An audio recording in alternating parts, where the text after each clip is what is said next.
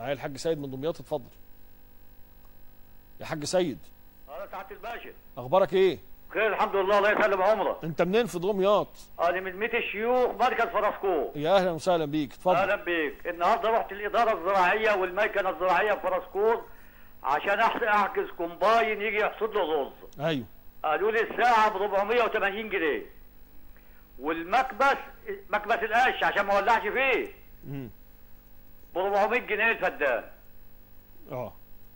فما أعرفش الأسعار دي مغالى فيها قوي يا أستاذ سامح. ده فين؟ ده في قطاع الميكنة؟ آه قطاع الميكنة الزراعية في إدارة فرسكور الزراعية. طيب. أنت عندك كام فدان أساسا؟ أنا عندي خمس فدادين ونص. ال- ال- ال combine اللي هو هيحصد ب 480 جنيه في الساعة ده أنت بخ... لا هو الفدان بيحصده في ساعة. ساعة ساعة وخمس دقايق. الف... الفدان في ساعة؟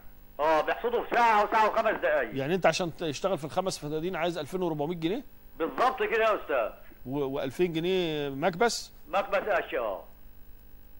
طيب النهارده أنا هكلم قطاع الميكنة ونعرف إيه الأخبار والأسعار دي على أي أساس. وبعدين كلمت سيادتك يوم 18 8 بقول لك إيه وأنت دلوقتي لما تيجي تروح تاخد ال- ال- المعدات دي من أي حد في القطاع الخاص أنا ما بثقش في القطاع الخاص. أنا عايش لا أنا سيبك من. الثقة مش بتكلم على الثقة. أسعارهم آه. إيه؟ أسعارهم إيه؟ أسعارهم 300 350 ال- الفدان. يعني أقل. أقل منهم بكتير. طيب بتقول كلمتني إمتى؟ يوم 18 8 علشان الحكومة ترفع الحظر عن تصدير الرز. تفك الخناق عن رقبة الفلاح شوية. طب أنت قول للحكومة الكلام ده على الهوا لأن أنا كسامح عبد الهادي مش موافق. أنت بقى إيه؟ أنت ده طلبك كفلاح ان أنتوا عايزين تصدروا الرز. ده طلبك. أنا أنا أنا بوصل رسالتك. طب ماشي. تمام؟ سيادت- سيادتك مشكور. بس لما بيع كيلو الرز ب 3 جنيه أو ب 3 جنيه ونص كوباية الشاي على أي كافيه ب 7 جنيه. أنتوا عندكم كافيهات؟ مالية الدنيا عندي والله ب 7 طب جنيه. اسمعني بقى هو في مين اللي بيبيع كيلو رز ب 3 جنيه دلوقتي؟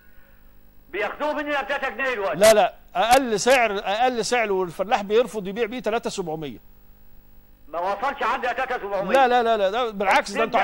أنتوا عندكم الر... لك بيتباع النهارده ب 3 و200 الحباية رفيعة. أنتوا عندكم الرز في المنطقة بتاعتك في فرسكور دي من أحسن الأنواع على فكرة. ون... بالظبط كده ونوعية 104 و101 ونوعية المية كمان كويسة. آه مية وبالتالي من النيل فانت ما مية مجاري آه ما تكلمنيش على أنضف آه، محصول أرز موجود وتقول لي لا ده ب 3 جنيه.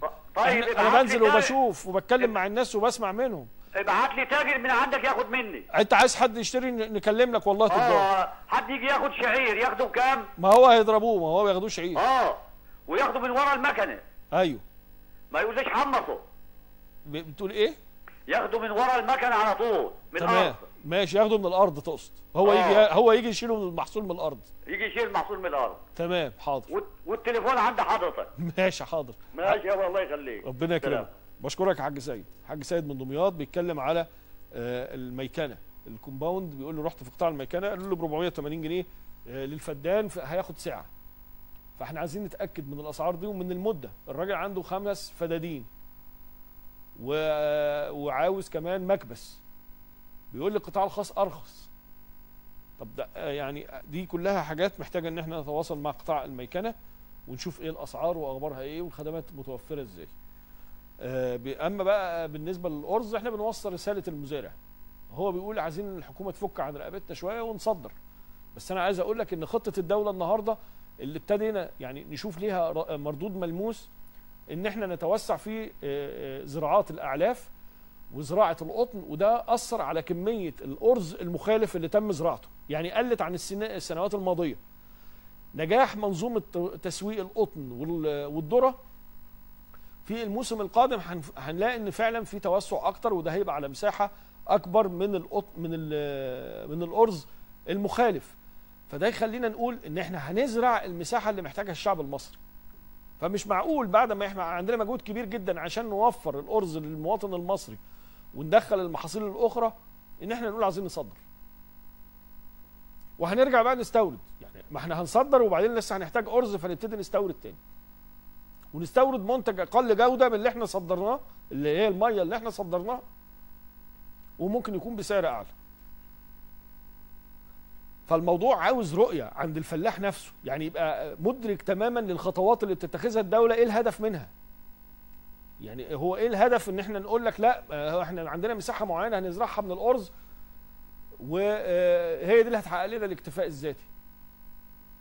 إن أنا عايز أحافظ على المية وعايز إن أنا أتوسع في مساحات أخرى آه، هزرعها بمحاصيل مفيدة ليا في هذه المرحلة. إحنا بنتكلم على رجوع أو عودة القطن المصري مرة أخرى. بنتكلم على التوسع في زراعة الاعلاف عشان النهوض بالثروة الحيوانية. ده يتم إزاي؟